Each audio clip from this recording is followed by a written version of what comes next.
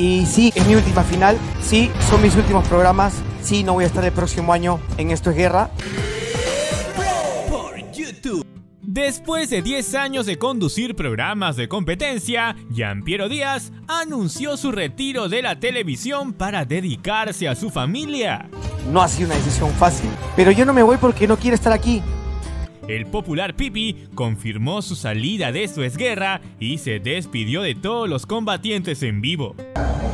Y sí, es última final, sí, mis últimos programas, sí, no voy a el próximo año en esta guerra.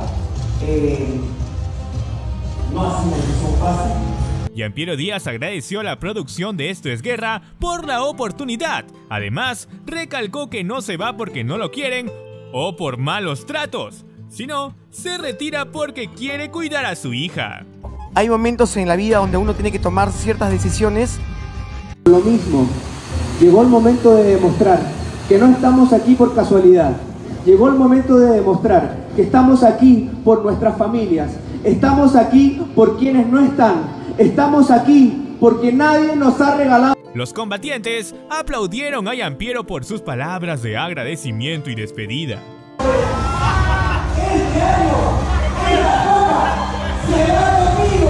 Para que no te olvides jamás de mí, Pitufina. Jamás te vas a olvidar de mí. La final de Esto es Guerra inició con muchas dudas, ya que los equipos están incompletos y están compitiendo combatientes con lesiones.